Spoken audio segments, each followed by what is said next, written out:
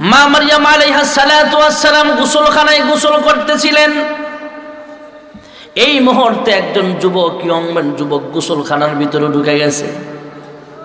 দরজা লাগানো, সব লাগানো, তালা লাগানো, গেট লাগানো, এরপরও কেমনে জানি ঢুকছে, টের পায় নাই। যুবককে দেখে মা মারিয়াম ডাক দেয়া বলে হ্যাঁ যুবক, তুমি আমার গোসলখানায় কীভাবে আসলা? কেন আসলা? আমি একজন লেখার বান্দি আমি একজন সতী নারী আমি কোনো গুণা করি না আমি আল্লাহর এক বান্দি মারিয়াম। আমার গোসলখানায় কেন আসলা? দুনিয়ার কোনো মানুষ না দেখলেও গোসলখানার ভিতরে একজন দেখেন তিনি কে? আর জোরে ক। হ্যাঁ যুবক তুমি আল্লাহকে ভয় করো। গোসলখানার ভিতরে যুবকটা ডাক দেয়া বলে মারিয়াম ভয় পাবার কোনো কারণ নাই। আমি দুনিয়ার কোনো লম্পট বাটপার সিটার না। দুনিয়ার কোনো যুবক নই। আমি আল্লাহর রহমতের ফিরিস্ত হজরতে জিব্রাহিল আমিন জুরকন সুবহানাল্লাহ। হ্যাঁ মারিয়াম, তোমাকে একটা সুসংবাদ দেওয়ার জন্য আল্লাহ আমাকে পাঠিয়েছেন। কয় কি সুসংবাদ? তোমাকে আল্লাহ রাব্বুল আলামিন একটা পুত্র সন্তান দান করবেন। সুবহানাল্লাহ কইেন না। মারিয়াম আলাইহিস সালাম আরও আশ্চর্য হয়ে বলে হ্যাঁ জিবরাইল আমার স্বামী নাই। স্বামী ছাড়া যদি সন্তান হয় তাহলে মানুষ তাকে যারা সন্তান বলবে। হাজরতে জিব্রাহিল আমিন পয়গম্বর ঈসা আলাইসালামের মা মারিয়ামকে ডাক দেওয়া বলে হ্যাঁ মারিয়াম ওইটা নিয়ে তুমি কোনো টেনশন করিও না জোরে কোন সুবাহ হাজরতে মারিয়াম আলাইহা সালামের বুকের ভিতরে একটা ফুক দিলেন।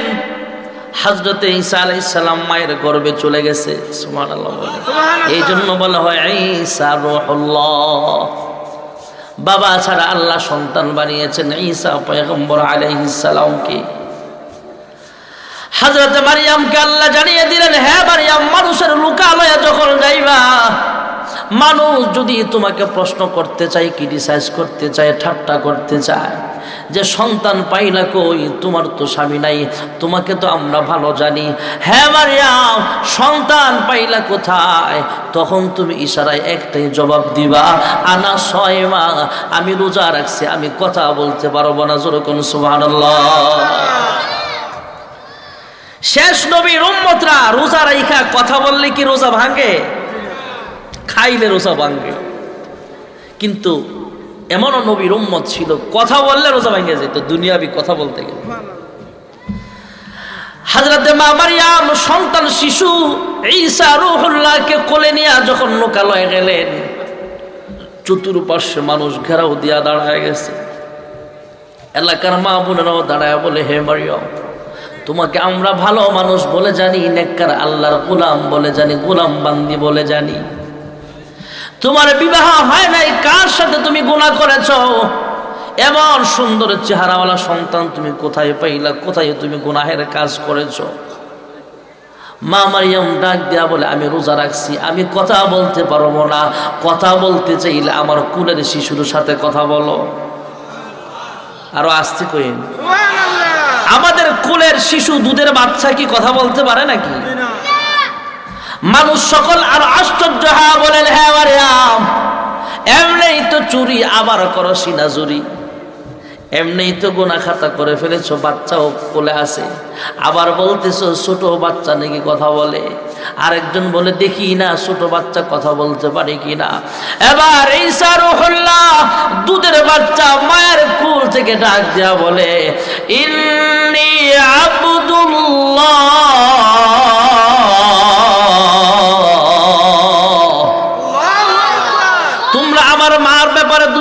দুশ্চরিত্রা অন্য অন্য তুহমাত দিও না।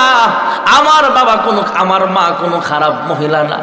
আমাকে আল্লাহ রব্বুল আলামিন আতানিয়াল কিতাব ওয়াজালানি নবিয়্যা তোমরা আমাকে সাধারণ শিশু মনে করেছ নাকি? না না।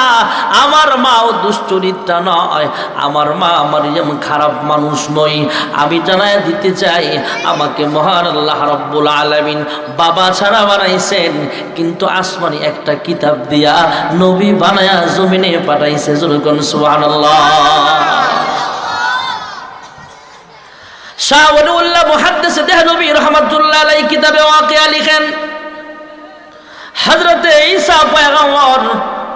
আমাদের নবীর কাছে আমাদেরকে নিয়ে যাবেন। এর কয়েকটা কারণের মধ্যে একটা কারণ হলো, যেহেতু উম্মত হয়ে আসবেন এই জন্য সম্মানার্থে নিয়ে যাবেন। আরেকটা কারণ হলো, জান্নাতি বিবির দুনিয়া বিছেলে যেরকম সুবহানাল্লাহ। বাবা ঘরের ভিতরে আছে, সন্তান গেইটে দাঁড়ায় আছে। পথিক একজন যদি এই সন্তানটার বাবাকে সন্ধান করে, এই সন্তানটা ইচ্ছে করলে বলতে পারবে যে, আমার বাবা ঘরে আছে, ঘরে তালাশ করে। আর যদি বেশি ভদ্র হয় সে বলবে চলেন আমার সাথে আমার আব্বার কাছে নিয়ে যাই।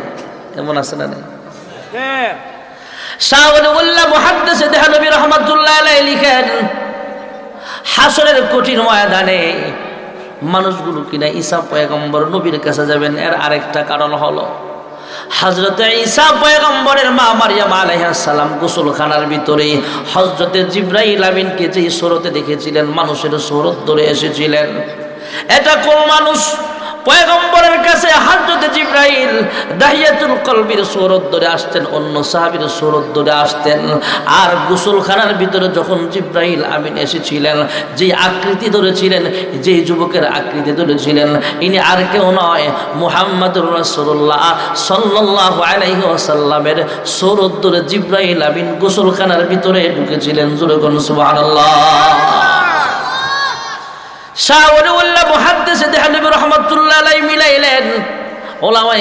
আমরা ভালো করে মাস আলা জানি সুগরা, কুবরা নতি যা মিলাইলে লাস্ট পর্যায়ে দেখা যায় হজরতে ঈসা পয়গম্বর, আমাদের পয়গম্বরের জান্নাতি বিবির দুনিয়াবি ছেলে জোরকন সুবহানাল্লাহ।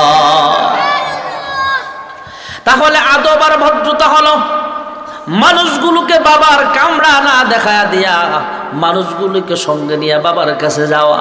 আর ঈসা পয়গম্বরও আমাদের নবীকে দেখা দিবেন, অথবা উম্মতগুলোকে সঙ্গে নিয়ে পয়গম্বরের দিকে রওনা হবে। যেরকম সুবহানাল্লাহ।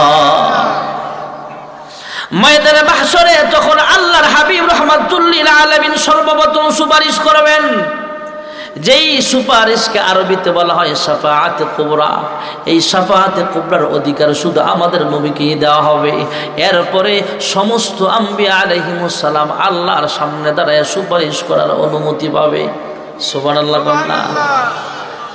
قال رسول الله صلى الله عليه وسلم يشفع يوم القيامة ثلاثة الأنبياء ثم العلماء ثم الشهداء أو كما قال عليه الصلاة والسلام আল্লাহর সামনে দাঁড়ায়া যেদিন সমস্ত মানুষ থরথর করে কাঁপবে সেদিন আমার আপনার নবী বিশ্ব নবী রহমতুল্লিল আলমিন সর্বপ্রথম সুপারিশ করার অনুমতি পাবে তারপরে আদম পয়গম্বর থেকে শুরু করে সমস্ত নবীগণ আম্বিয়া আলাইহিমুসালাম আল্লাহর সামনে দাঁড়ায় সুপারিশ করবে।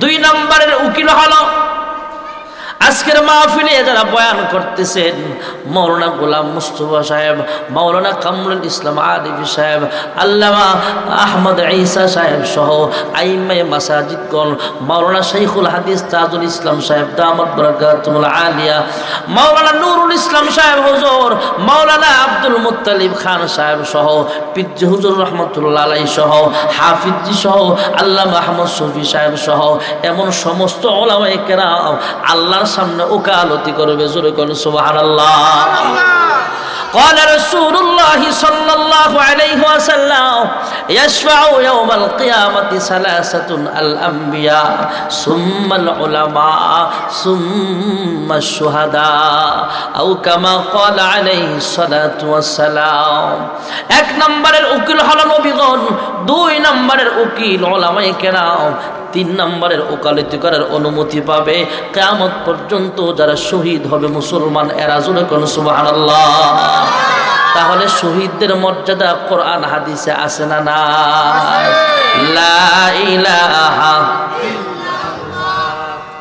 হ্যাঁ জিব্রাইল, আমি ঘর থেকে বের হওয়ার সময় কাফেররা আমাকে দেখে ফেলবে।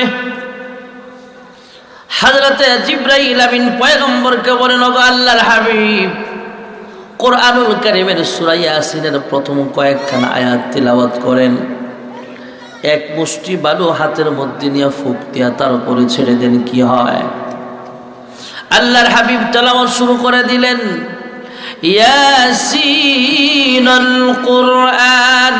হাকীম, ইন্নাকা লামিনাল মুরসালিন।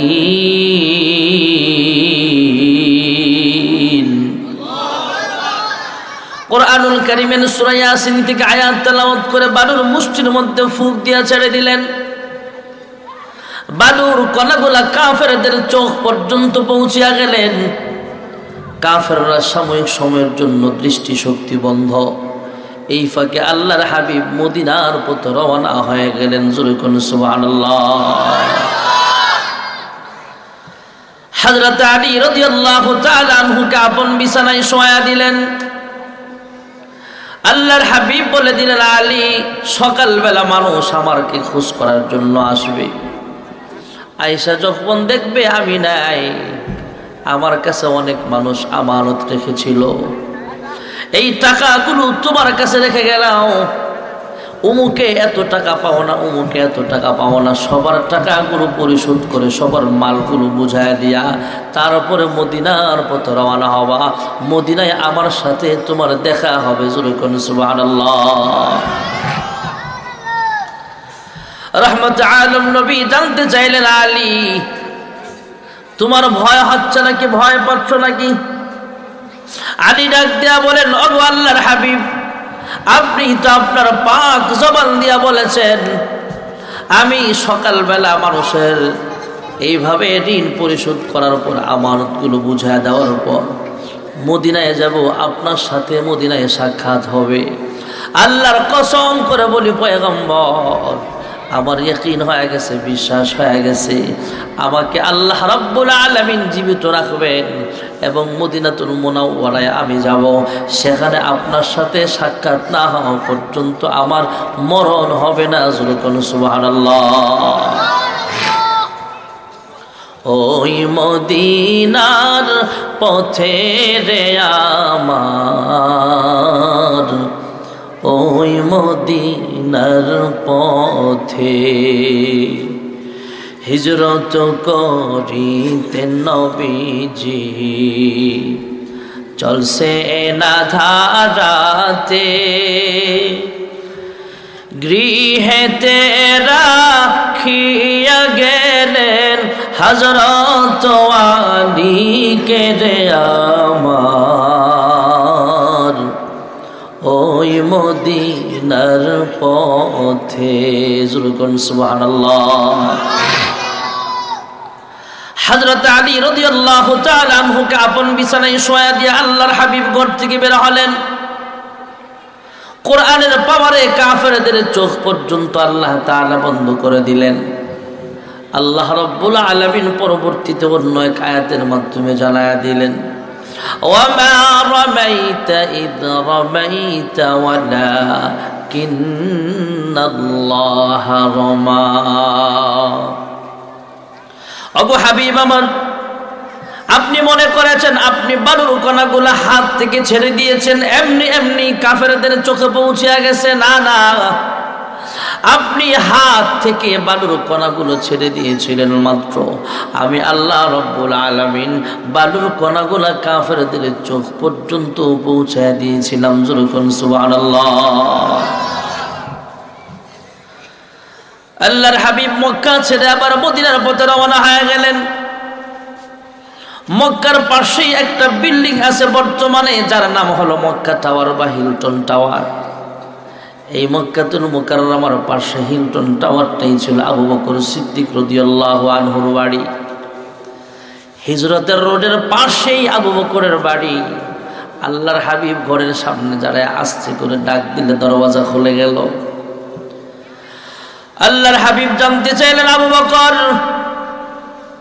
প্রথম ডাক দেওয়ার সঙ্গে সঙ্গে তুমি সাড়া দিলা। প্রথম ডাক দেওয়ার সঙ্গে সঙ্গে দরওয়াজা খুললা, কীভাবে তুমি কি ঘুমাও নাই? হাজরত আবু বকর জবান খুলে বলে অগো আল্লাহর হাবিব, আমি কেমনে ঘুমাবো? যখন থেকে আপনি বলেছেন, আমি পয়গম্বর একদিন মদিনায় হিজরত করতে হবে। হে আবু বকর, তুমি আমার হিজরতের রাতের সাথী হবা জোরে কোন সুবহানাল্লাহ। ইয়া রাসূলুল্লাহ, ইয়া হাবিবাল্লাহ আল্লাহর হাবিব যখন থেকে আপনি বলেছেন, তখন থেকে আজও পর্যন্ত, এই সময় পর্যন্ত, আমি মুহূর্তের জন্য, আমি বিছানার মধ্যে পিঠ লাগাই নাই যেরকম সুবাহ হজরত আবু বকর সিদ্দিক রাদিয়াল্লাহু তাআলা আনহুকে সঙ্গে নিয়ে পয়গম্বর রওনা হয়ে গেলেন। মক্কাতুল মুকাররমার কাছাকাছি একটা পাহাড় আছে, কয়েক কিলোমিটারের মধ্যে। যাকে বলা হয় ভাইরা আমার গাড়ির সূর্যা বলে সোর সমতল থেকে আড়াই হাজার ফুট উঁচা নয়, শুধু সাড়ে পাঁচ হাজার ফুট উঁচা পাহাড়। আমাদের মতো ইয়ং ম্যানরাও প্রায় দুই থেকে আড়াই ঘণ্টা সময় লাগে সেখানে উঠতে, ভাইয়ারা, আমার দুজাহানের সর্দার সঙ্গে ছিলেন আবু বকর সিদ্দিক। দুইজন পাহাড়ের উপরে উঠবে। আল্লাহর হাবিব বলে, আবু বকর, চলো আমরা পাহাড়ের চূড়ায় যাব। আবু বকর বলেন, ওগো আল্লাহর হাবিব, আপনার জন্য মোটর সাইকেল বা যানবাহনটা প্রস্তুত আছে, চলেন। দুজাহানের সর্দার বলে, আবু বকর, আমাদের সাথে ওট নাই। আমাদের সাথে ঘোরা নাই, তুমি যানবাহন কই পাইলা। আবু বকর ডাক দেয়া বলে অবু আল্লাহর পয়গম্বর, আমি আবু বকর একটু গুছা হয়ে গেলাম। আমার কাদের ঘাড়ের উপরে আপনি উঠে যান। আজকের জন্য আমি আবু বকর আপনার গাড়ি হয়ে গেলাম। যেরকম সুবহানাল্লাহ। হযরত আবু বকর সিদ্দিক রাদিয়াল্লাহু তাআলা আনহু পয়গম্বরকে নিয়া মুহূর্তের মধ্যেই পাহাড়ের উপরে উঠে গেছে। সুবহানাল্লাহ বলে। আল্লাহর হাবিবকে থামায়া দিয়া প্রায় সাড়ে পাঁচ হাজার ফুট উঁচা পাহাড়, ওখান থেকে আবার একটু নিচে নামতে হয়। নিচে নাইমা পাহাড়ের গুহায় দুইজন একসাথে ঢুকা যায় না, সিঙ্গেল মানুষ ঢুকতে হয়। আমি বহু চেষ্টা করে দেখলাম কয়েকবার চেষ্টা করেছি, দুইজন একসাথে ঢুকবো, সোজা হয়, কিন্তু ঢুকা যায় না। আবু বকর সিদ্দিক রাদিয়াল্লাহু তাআলা আল্লাহর হাবিবকে থামায়া দিয়ে ভিতরে ঢুকলেন। ভিতরে কি যেন পরিষ্কার করলেন, পুরাতন গুহা এটা পরিষ্কার করা হলো। তারপরে আল্লাহর হাবিবকে ঘরে ঢুকতে দিলেন। আল্লাহর হাবিব জানতে চাইলেন, আবু বকর, আমাকে বাহিরে দাঁড় করায় তুমি এইভাবে ঘোরাঘুরি করার কারণ কি? কি পরিষ্কার করেছ? আবু বকর ডাক দেয়া বলে, ওগো আল্লাহর রাসূল, এটা একটা পুরাতন গুহা, সাপ, বিচ্ছু থাকতে পারে, বিষাক্ত কোনো কীট পতঙ্গ থাকতে পারে। আমি আবু বকর থাকা অবস্থায়, যদি আপনাকে কোনো কীট পতঙ্গ কামড় মারে কষ্ট দেয়, আমি আবু বকর আল্লাহ রাদা আলোতে দাঁড়ায় কি জবাব দিব? জোর কোনো সুহান হাজরত আবু বকর সিদ্দিক রাদিয়াল্লাহু তাআলা আনহু বলে ওগো আল্লাহর হাবিব আরাম করেন, বালিশ রেডি আছে? সুবহানাল্লাহ কন্যা দু জাহানের সর্দার আশ্চর্য হয়, বলে, আবু বকর, আমাদের সাথে কম্বল নাই, লেপ নাই, তোষক নাই, বালিশ নাই, তুমি আরাম পাইবা কোথায়? কীভাবে আমি ঘোরাবো? হ্যাঁ আবু বকর, আমি বালিশ পাবো কোথায়? আবু বকর ডাক দেয়া বলো, অগো আল্লাহর হাবিব আমার কোলটা আজকের জন্য, আপনার জন্য আমি বালিশ বানায় দিলাম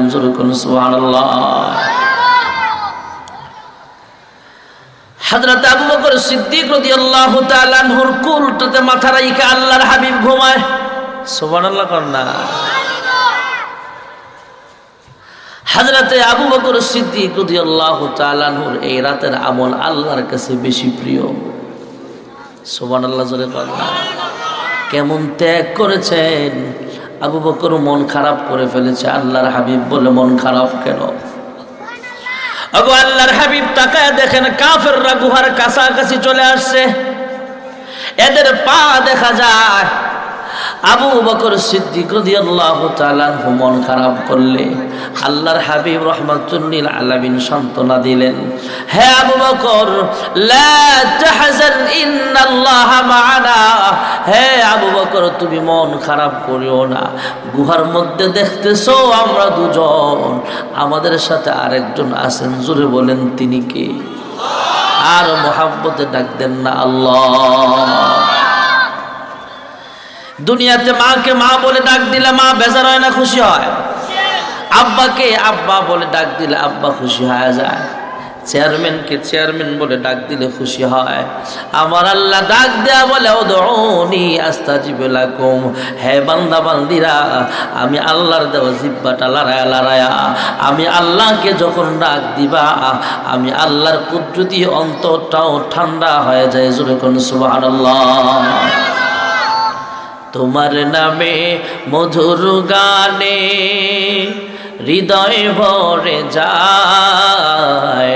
তোমাকে পড়ে গো মনে ভোরে রহাওয়ায়। আজানে কাপে সুরের মিনার, বয়ে চলে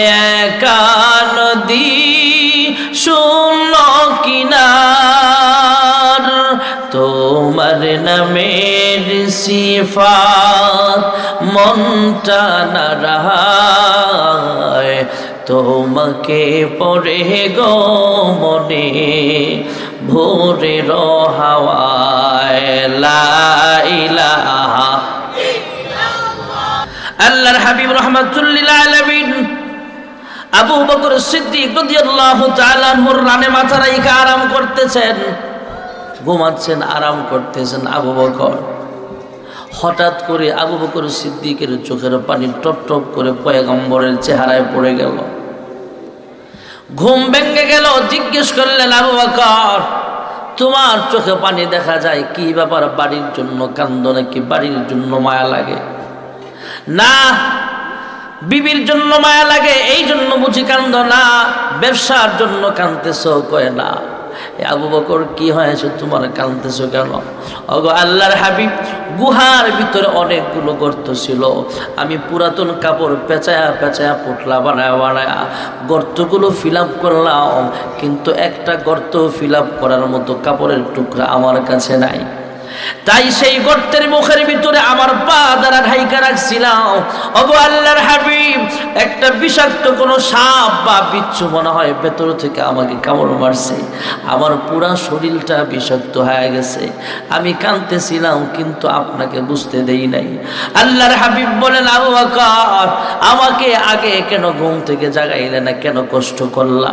আবু বকর ডাক দেয়া বলে, অগো আল্লাহর হাবিব, আমার জীবনের চাইতেও আপনার ঘুমের দাম আল্লাহর কাছে অনেক বেশি দামি। আমাদের ঘুম আর নবীর ঘুম ব্যবধান আছে না নাই? আমরা কত কিছু দেখি। ছোট সময় কে না দেখছে, আমিও তো অনেক দেখছি ছোট সময়। পোলা পোলাবান ছোট্ট সময় স্বপ্নে দেখে, আয় ঘুমের ভিতরে খেলতেছে খেলতেছে খেলতেছে, দৌড়াইতেছে, ফুটবল খেলতেছে রাত্রেবেলা এ, বল মার বল মার। এমন করেনি? আবার মাঝে মাঝে স্বপ্নে পোলাবাইন দেখবেন অনেক দূরে চলে যায়, যাইতে যাইতে দেখে মসজিদের সামনে সুন্দর টাইলস করা একটা ফেসাবখানা। ফেসাবখানা দেখে ফেসাব ধরছে। ইচ্ছে মতো আনলোড করছে। করার পরে শীতের রাত, ঘুম বাংছে ছায়া দেয় টয়লেট কি ফেসাবখানা? বিছনা বিজাই নিছে এমন আছে না নাই? আমাদের ঘুম আর নবীদের ঘুম এক না। আম্মাজান আয়েশা সিদ্দিকা রাদিয়াল্লাহু তাআলা আনহার রানের মাথা রাইখা আল্লাহর হাবিব ঘুমাচ্ছিলেন। মসজিদে নবীর পাশের হুজরাখানায় পয়গম্বর আরাম করতেছিলেন। হঠাৎ করে আজান পড়ে গেলে পয়গম্বর উজু করলেন না, মসজিদে ঢুকলেন, নামাজ পড়ালেন। নামাজ শেষে পয়গম্বর কামরায় আসলে জিজ্ঞেস করলেন অগো আল্লাহর হাবিব আমি তো মাস আলা জানি, ঘুমাইলে অজু নষ্ট হয়। কিন্তু আপনি ঘুম থেকে জাগ্রত হলেন, নামাজ পড়ালেন আবারও চলে আসলেন, অজু উঁচু করলেন না। আল্লাহর হাবিব ডাক দেয়া বলে হ্যাঁ আয়সা তোমরা ঘুমাইলে অজু ভাঙ্গে, কিন্তু নবী ঘুমাইলে অজু ভাঙ্গে না, জোর করুন সুবহানাল্লাহ। হ্যাঁ আয়েশা, আমি স্বপ্নে দেখলাম দুইজন ফিরিস্তা ঝগড়া করে। একজন ফিরিস্তা বলে, পয়গম্বর, ঘুমায়। আরে একজন ফেরেস্তা বলে, না না, আল্লাহর হাবিব সজাগ আছে, ঘুমায় না। আয়েশা, জাননি, দুজন ফেরেস্তার কথা একসাথে সত্য জোরে কোন সুবাহ অগো, আল্লাহর হাবিব, বুঝতে পারলাম না, আপনি সজাগ আর ঘুমে একসাথে কেমনে হলেন? দুজাহারের সর্দার ডাক দেয়া বলে, আয়েশা যে ফিরিস্তা বলেছেন, আমি ঘুমিয়ে আছি সে আমার চোখের দিকে তাকায় বলেছে, আমি ঘুমিয়ে আছি। আর যে ফিরিস্তা বলেছেন, আমি ঘুমাই নাই, সজাগ আছি। সে আমার অন্তরের দিকে তাকায় বলেছে, আমি সজাগ আছি। কারণ হলো, নবীরা ঘুমায়, কিন্তু অন্তর ঘুমায় না যেরকম সুবাহ স্বপ্নে নবীদের কাছে ওহি নাজিল হতো। إني أرى في المنام أني أذبحك فانظر ماذا ترى. قال يا أبت افعل ما تؤمر ستجدني إن شاء الله من الصابرين.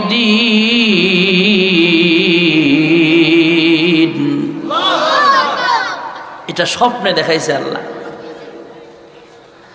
হাজরাতে ইউসুফ পয়গম্বর আল্লাহ স্বপ্নে ওয়াহি নাজিল করেছেন।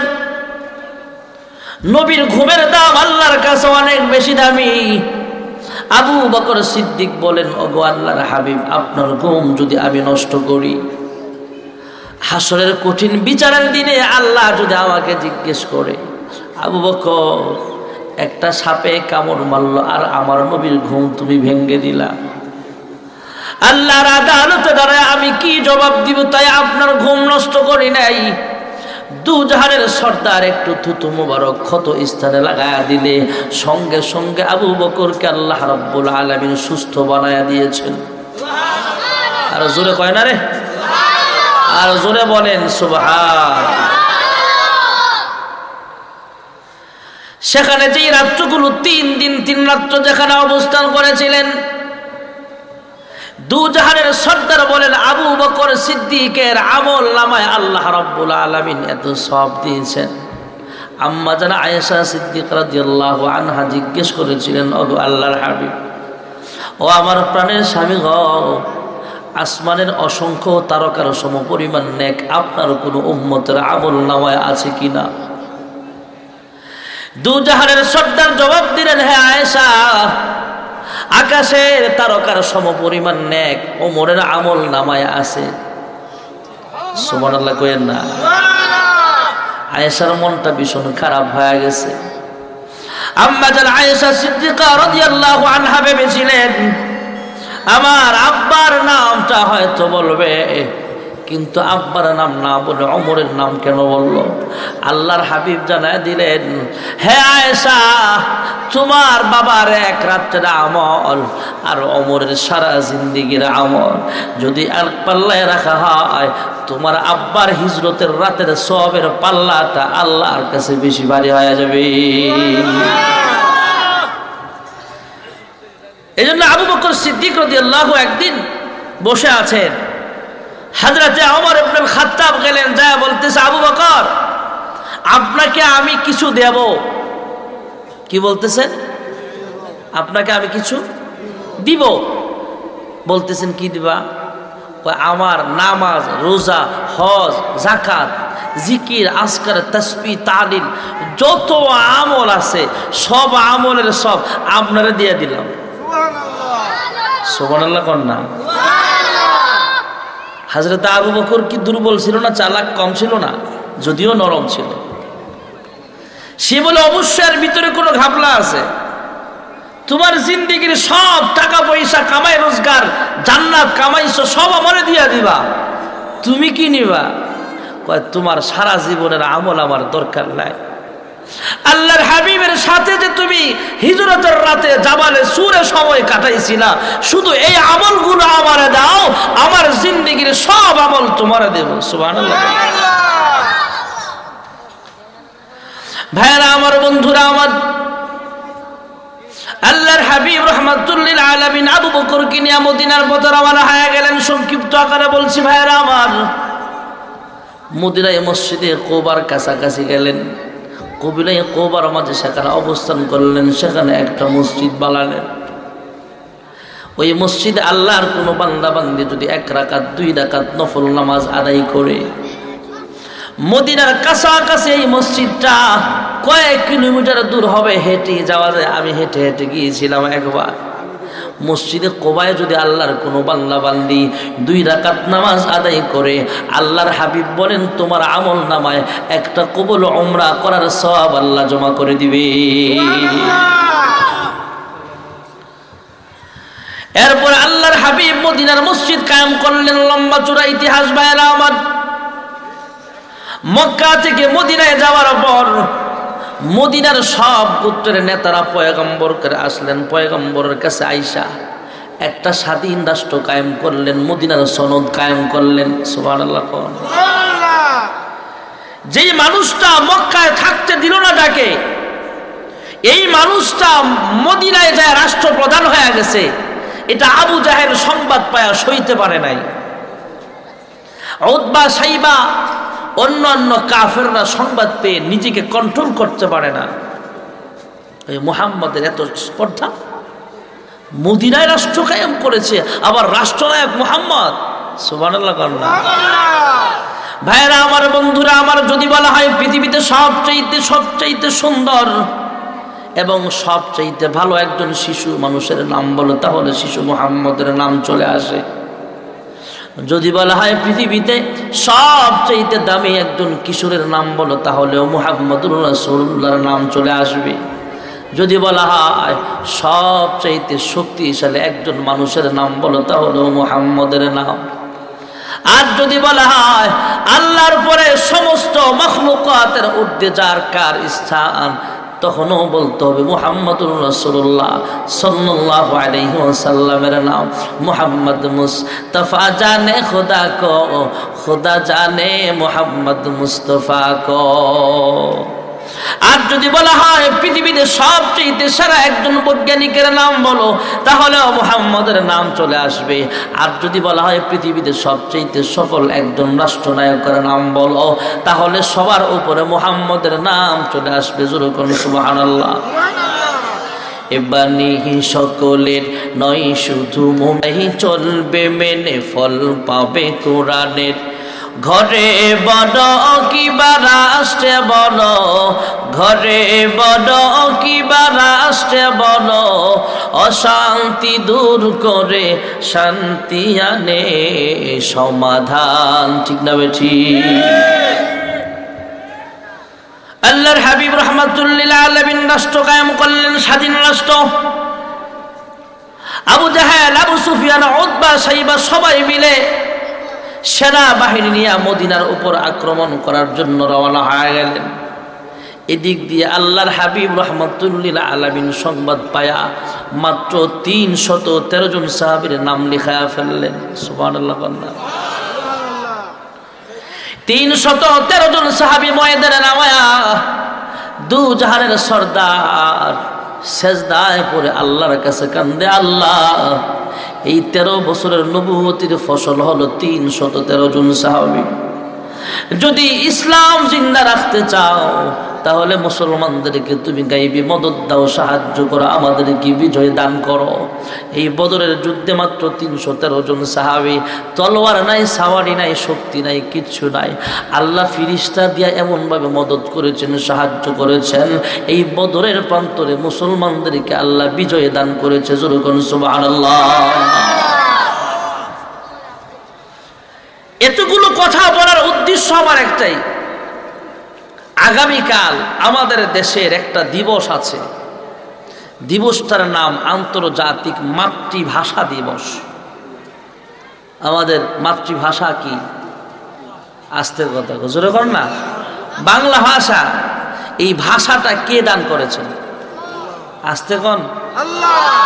যত ভাষা আছে পৃথিবীতে এটা আল্লাহর দেওয়া। ভাষা দিবসের নামে কোটি, হাজার হাজার কোটি টাকার ফুল বিক্রি হচ্ছে। ভাষা দিবসের নামে সকালবেলা খালি পায়ে শহীদ মিনারে যায়া হিন্দুদের মতো পূজা চলছে। ভাষা দিবসের নামে অশ্লীল গান, বাদ্য, নাচানাচি চলতেছে দুনিয়াতে। মুসলমান, এই বাংলা ভাষার জন্য আমার বরকত রফিক জব্বার রক্ত দিয়েছে। তোমাদের তো উচিত ছিল এই ভাষা দিবসে কোরআন তেলাওয়াত করে, আল্লাহর জিকির করে, আন্তর্জাতিকভাবে সংসদের ভিতরেও সংসদ সদস্যদের নিয়ে তাদের জন্য দোয়া করা, আল্লাহর কাছে কান্নাকাটি করা, তা না করে যারা গান বাদ্য করছ, শহীদ মিনারে হিন্দুদের মতো পূজা দিচ্ছ, আল্লাহর কসম, ওই শহীদটা যারা কবরে আসে বাসার জন্য যারা শহীদ হয়েছে, আমি তো মাঝে মাঝে বলি, এদেরকে যদি আল্লাহ আবার জিন্দা করতো তোমাদেরকে হত্যা করার জন্য এরা রেডি হয়ে যেত। কারণ, যা আমাদের জন্য দোয়া না করে নাচানাচি কেন করস? ঠিক না ঠিক জোরে আমরা শহীদ দিবস পালন করি বাংলা ভাষার তরে, আমার সওয়াল কিন্তু ইংলিশ মিডিয়ামে পড়ে।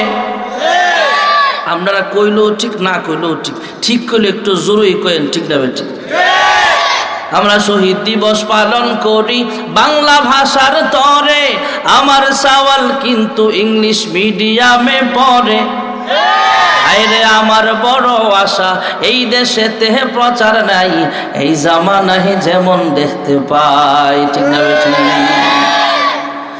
মেয়েরাও ছেলের মতো মডেল হবার চায়, শার্ট প্যান্ট পরে টাই পরে উঁচু জুতা পায়। এসব নারী থেকে খোদা, এসব নারী থেকে খোদা, আমরা বাঁচতে চাই। এই জামানাহে যেমন দেখতে পাই শহীদ দিবসের নামে নোংরামি আল্লাহ বরদাস্ত করে না। বাংলাদেশ স্বাধীন হয়েছে মাত্র পঞ্চাশ বছর, একশো বছর হয় নাই। আর শহীদদের মর্যাদা সম্পর্কে আল্লাহ রাব্বুল আলামিনদের হাজার বছর আগে কোরআনে আয়াত নাজিল করেছেন সুবহানাল্লাহ বলেন ولا تقولوا لمن يقتل في سبيل الله أموات بل أحياء ولكن لا تشعرون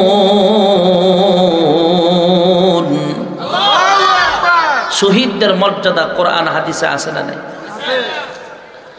ভাইরা আমার বন্ধুরা আমার শহীদদের ব্যাপারে কিছু কথা বলার জন্য আয়াত তেলামত করেছে হাদিস পড়েছি ভাইরা আমার قال رسول الله صلى الله عليه وسلم يشفع يوم القيامة ثلاثة الأنبياء ثم العلماء ثم الشهداء أو كما قال عليه الصلاة والسلام আল্লাহ যেদিন বিচারকের আসনে বসবেন, আল্লাহর সামনে দাঁড়ায় নবীরা পর্যন্ত কথা বলার সাহস পাবে না থর করে কাঁপবে।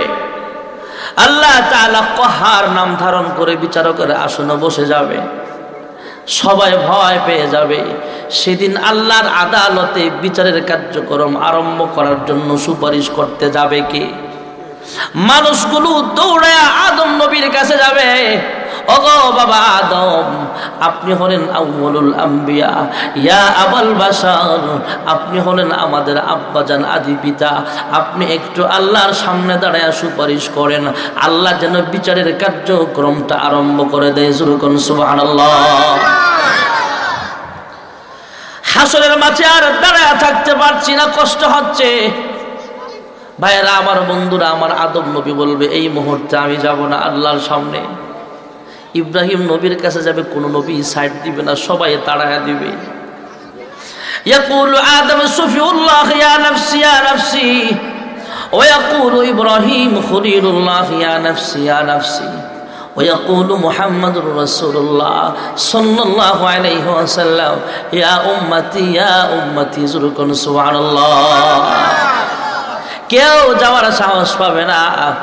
তখন মানুষগুলো হজরত ঈসা নবীর কাছে যাবে শেষ পর্যায়ে।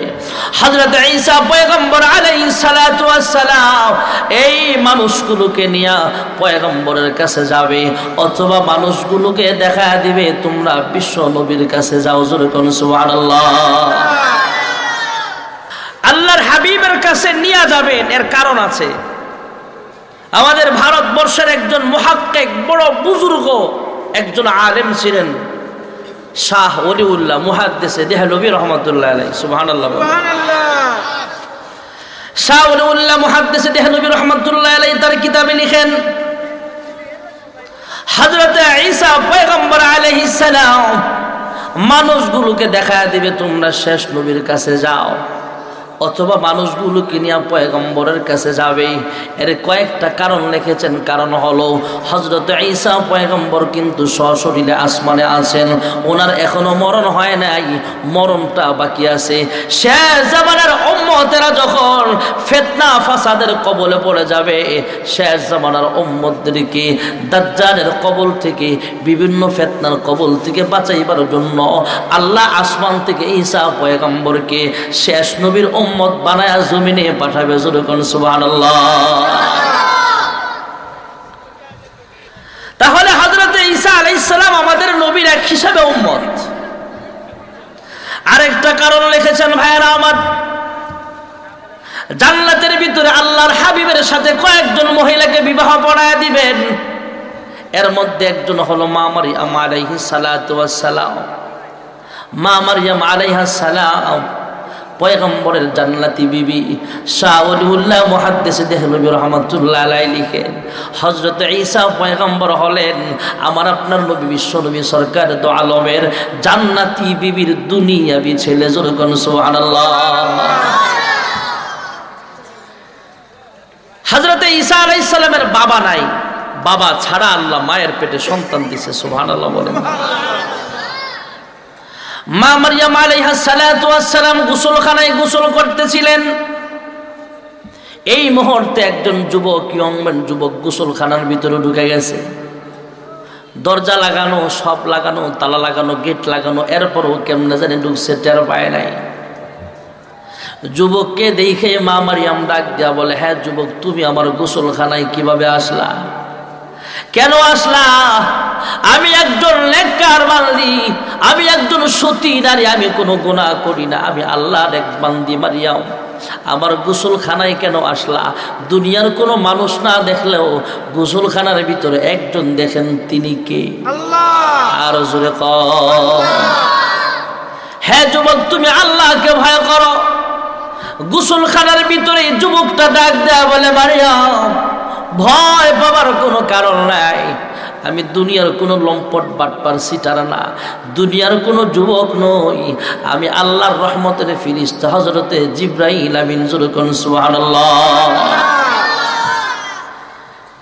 হ্যাঁ মারিয়াম, তোমাকে একটা সুসংবাদ দেওয়ার জন্য আল্লাহ আমাকে পাঠিয়েছেন। কয় কি সুসংবাদ? তোমাকে আল্লাহ রাব্বুল আলামিন একটা পুত্র সন্তান দান করবেন। না। মারিয়াম আলাইহিস সালাম আরও আশ্চর্য হয়ে বলে হ্যাঁ জিবরাইল আমার স্বামী নাই।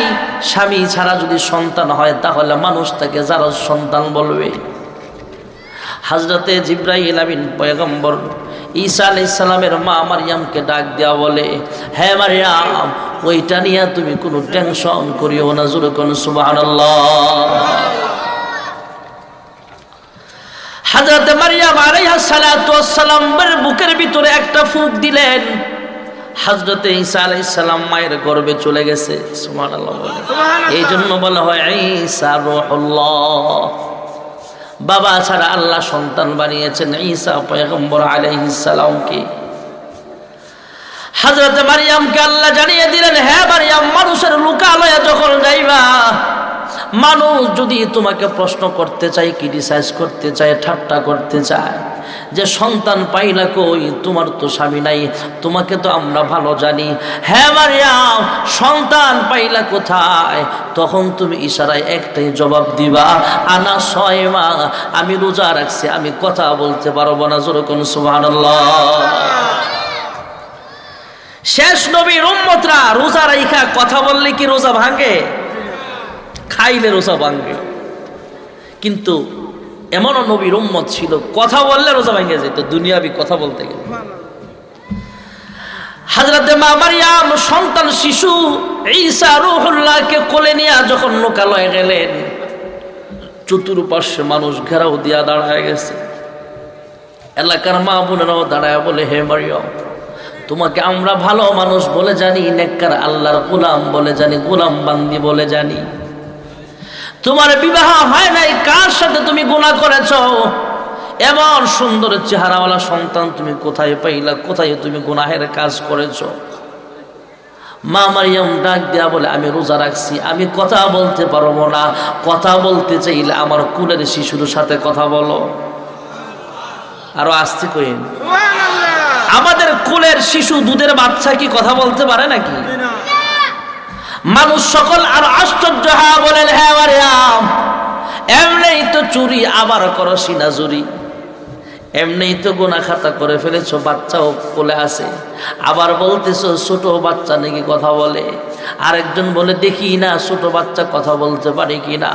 এবার এই সারুহল্লা দুধের বাচ্চা মায়ের কুল থেকে ডাক দেওয়া বলে, ইন্নি আবদুল্লাহ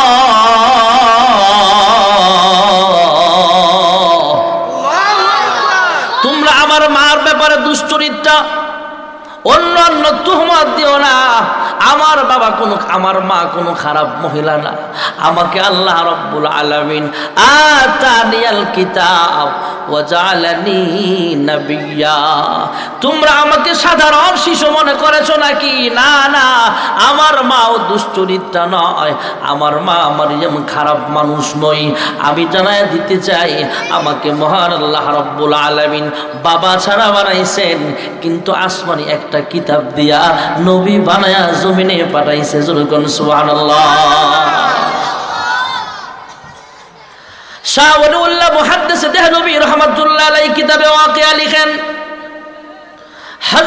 ঈসা পয়গম্বর আমাদের নবীর কাছে যাবেন। এর কয়েকটা কারণের মধ্যে একটা কারণ হলো, যেহেতু উম্মত হয়ে আসবেন এই জন্য সম্মানার্থে নিয়ে যাবেন। আরেকটা কারণ হলো, জান্নাতি বিবির দুনিয়া বিছেলে যেরকম সুবহানাল্লাহ।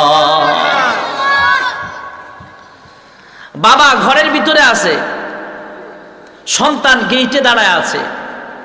পথিক একজন যদি এই সন্তানটার বাবাকে সন্ধান করে, এই সন্তানটা ইচ্ছে করলে বলতে পারবে যে, আমার বাবা ঘরে আছে, ঘরে তালাশ করে।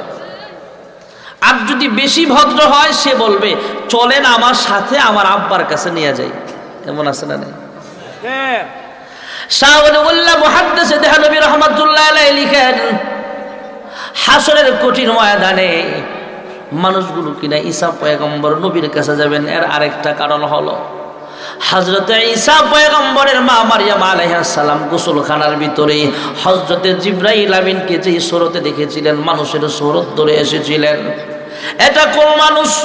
পয়গম্বরের কাছে হজরত জিব্রাইল দাহিয়াতুল কলবির সৌরত ধরে আসতেন, অন্য সাহাবির সৌরত ধরে আসতেন।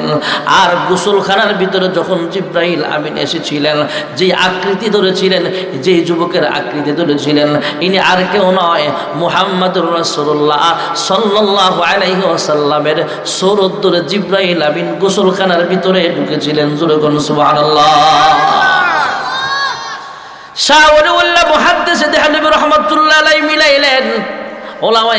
আমরা ভালো করে মাস আলা জানি সুগরা, কুবরা, নতি যা মিলাইলে লাস্ট পর্যায়ে দেখা যায় হজরতে ঈসা পয়গম্বর, আমাদের পয়গম্বরের জান্নাতি বিবির দুনিয়াবি ছেলে জোরকন সুবহানাল্লাহ। তাহলে আদব আর ভদ্রতা হলো মানুষগুলোকে বাবার কামড়া না দেখা দিয়া মানুষগুলোকে সঙ্গে নিয়ে বাবার কাছে যাওয়া। আর ঈসা পয়গম্বরও আমাদের নবীকে দেখায় দিবেন, অথবা উম্মতগুলোকে সঙ্গে নিয়ে পয়গম্বরের দিকে রওনা হবে। যেরকম সুবহানাল্লাহ।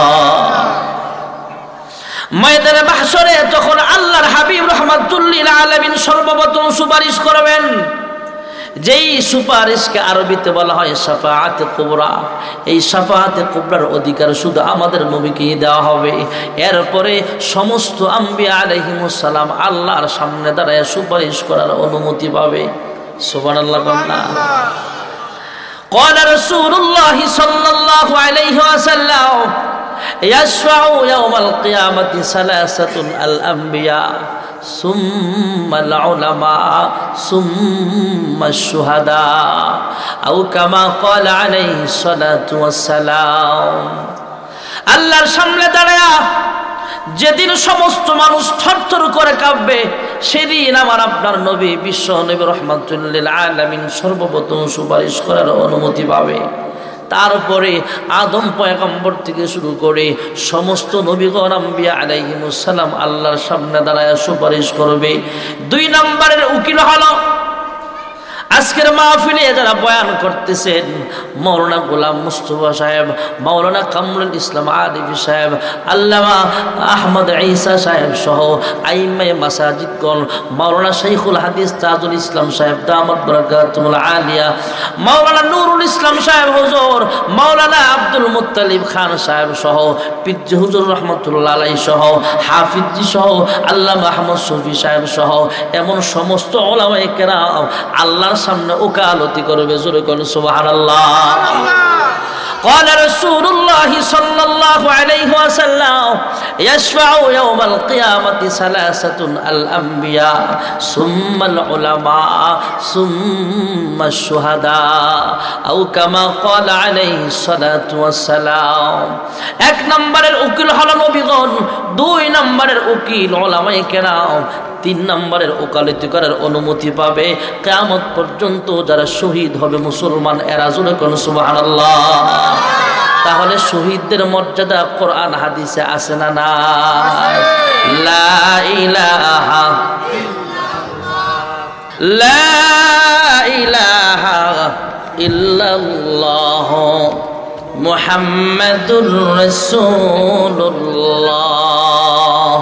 সাল্লাল্লাহু আলাইহি ওয়াসাল্লাম। ভাইরা আমার বন্ধুরা আমার হাসরের মাঠে তিন শ্রেণির উকিল আল্লাহর সামনে ওকালতি করবে জোরে কোন তিন নম্বরে হলো শহীদ দুই নম্বরে হলো ওলামাই কেরাম। এই ওলামাই কেরাম আলেম বানানোর ফ্যাক্টরি হলো এই তাতুয়াকান্দি দারুল কোরআন হাফিজিয়া মাদ্রাসা। আপনারা বেজার না খুশি।